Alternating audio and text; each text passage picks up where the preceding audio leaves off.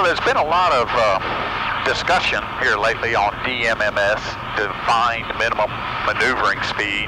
Uh, noticed quite a few people making comments, not only on our channel, but uh, Dan Gryder's channel, Probable Cause, and I think even a few on Juan Brown's Blancolirio channel as well. And the, the questions come up on uh, if you got a G1000, what do you do? Well, there's two schools of thought there that I've kind of looked at.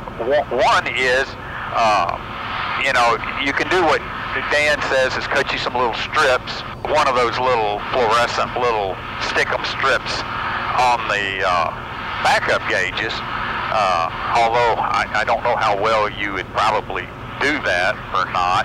It would be good just for reference. Uh, another thing you can do on the G1000 is if you come up here to your soft key on the timer reference, actually come in here and select your uh, your VR, your VX, VY, and your glide speed.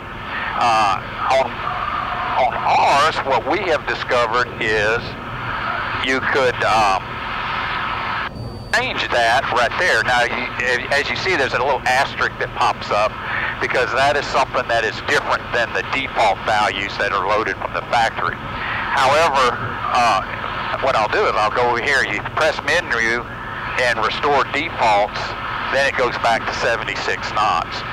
So when I calculate what the DMMS is on this airplane, the uh, clean stall is 51 knots and you multiply that times 1.404, you come up with 72, 71.6, but 72 knots. What I have done is I just go ahead and just leave the default on there. Uh, it gives you a little bit of a buffer. Um, and, and, and at least that way it's, it's, it's marked on the tape. And then you can come on, if you don't need V rotate, you can turn that on or off, uh, or VX or VY. I know I'm going to rotate around 60 knots, so I typically leave that off. Now the only problem is if you change that to 72 knots, which would be a little bit more accurate, when you shut down and start back up, it will revert back to the defaults. Uh, that's kind of a good feature and kind of a bad feature, depends on which way you want to view it. But that's how you would set something up in the G1000. And like I said, you could uh, you could change that to, to any of the values that you calculate it out as. It doesn't take a minute to do it. It could be part of your pre-startup uh, uh, checklist just to enter that value in. Um, but I look at it as any once I get to that 76 knots, I'm getting close, and it's time to watch your speed. So especially in the pattern, my normal pattern speeds are 90 knots on downwind, about 80 on on base, and 75ish on final.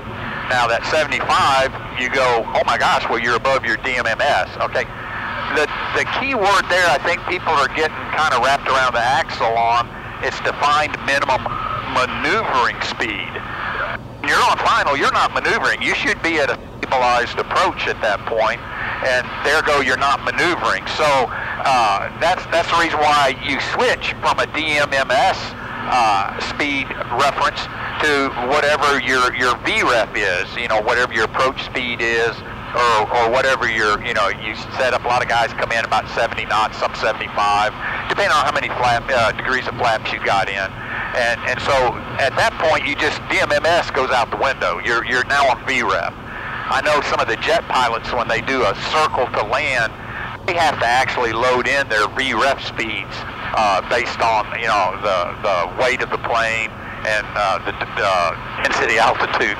They'll actually come in and they'll have their VREF, but on a circle to land, uh, like kind of going across midfield or something along those lines, what they're doing is, is they're just taking VREF and adding 10 knots uh, for a circle to land, which would be kind of like being in a pattern. And then they would transition from that to their VREF once they got on final. So anyway, that's kind of the way you would set things up in a G1000. Um, I believe if you so desired, you could go to an avionics shop and they might be able to uh, change those defaults for you. You just can't change them permanently because uh, it'll always restore back to the original factory defaults. So that's kind of in a nutshell on the G1000.